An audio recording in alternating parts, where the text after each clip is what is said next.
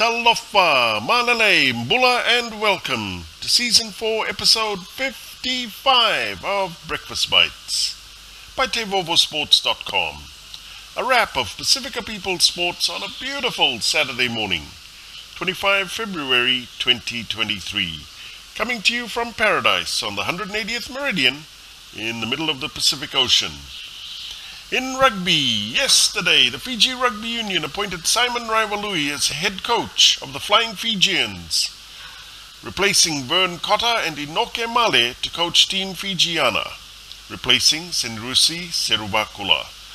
So, whatever happened to Scott Razor Robertson shall be consigned to the annals of Fiji Rugby Union history. In Rugby League, Wayne Bennett is threatening to make a bombshell statement in the Dolphins' first ever NRL game by naming 19-year-old Isaiya Katoa in the halves ahead of Anthony Milford. The Courier Mail reported Milford is in danger of being axed with Katoa told he will make his NRL debut at 5'8 alongside halfback Sean O'Sullivan. It would complete a matriotic rise for Katoa from Penrith's Jersey Flegg side to the NRL in less than a year. In boxing, Serbian goalkeeper Marko Dmitrovic, who was only introduced to the Sevilla lineup the last minute after the regular goalkeeper felt unwell prior to the game, was punched in the face in a shocking fan attack during Sevilla's Europa League defeat to PSV Eindhoven in the Netherlands. In football this week, Adidas renewed its sponsorship deal with Major League Soccer, reportedly worth US $830 million through to 2030, the company's largest investment in North American soccer.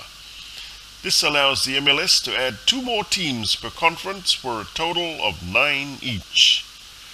Companies continue to invest in Major League Soccer as its franchises prosper since 2019, Forbes reports the average team value has increased 85% to US $579 million, with a 29th team, St. Louis City Soccer Club, added for this reason this season, which starts today.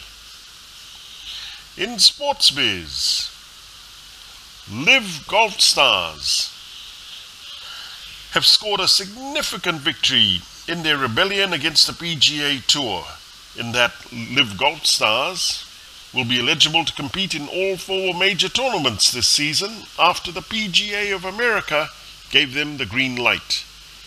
And the Golf Stars are Phil Mickelson, Brooks Koepka, Koepka, sorry, and Martin Kaymer, who won the PGA Championship before defecting to the Saudi-backed Golf Tour.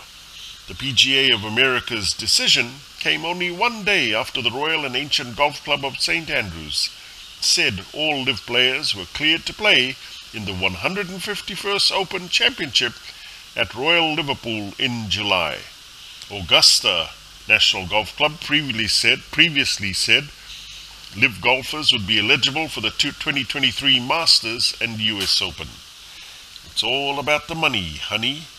For TeivovoSports.com, I'm Calvin Kamea. Mahalo, Vina'a, and thank you.